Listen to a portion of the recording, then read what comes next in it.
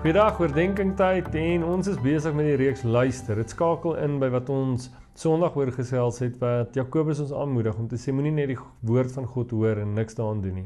Nou hoe hoor ons die woord van God? Ons moet luister. Maar sien as iets anders om werklik te luister. Baie mense hoor die woord, maar die luisterdeel gebeur nie. Nou groei mense in luister. Wat kan ek doen om meer beter te kan luister? En Mother Teresa het gesê sy sê listening is the beginning of prayer. Hoe doen ons dit? Spreuke 2 vers 2 sê vir ons hou jou ore oop vir die wysheid, span jou in om te verstaan.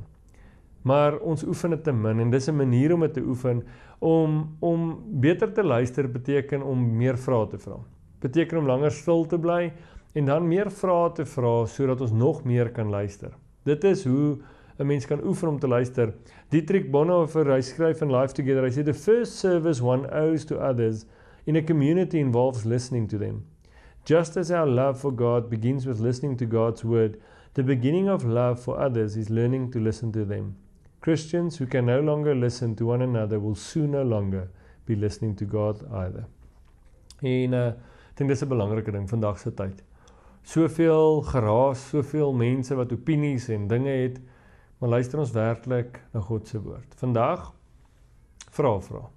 Vra vir die Here. Here, waar luister ek nie? Here, waar moet ek iets hoor? Waar moet ek iets gaan doen als luisteroefeninge? Vra miskien vir ander mense hoe hulle jou beleef en sien en luister, nie na die eerste woorde wat jou kwaad maak nie, luister dieper. Dis hoe ons luisteroefeninge dieper maak, meer geoefen maak en so kan ons God se stem duideliker hoor. Kom ek bid saam met jou. Vader, dankie dat U vandag vir ons net op 'n praktiese manier kom leer hoe om dit te doen.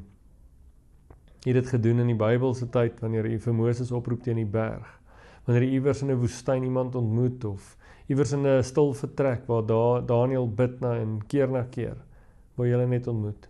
Ons sien hoe Dawid uitroep na U en U hom antwoord en dan hoor hy. Samson, so kan ons deur die hele Bybel gaan, Here, maar dis wanneer mans en vrouens stil word en dan partykeer vra begin vra en sê hoor ek reg? Ons het soveel gedagtes en dan weet ons nie is dit van U af of is dit ons eie gedagtes, maar mag ons hierdie vaardigheid aanleer om te kan onderskei tussen u stem en ons eie wil. Ek bid dit in Jesus naam alleen. Amen. Lekker dag verder vir jou. Geniet die res van die week en bly ingeskakel. Bly saam met ons luister na God se stem. Totsiens.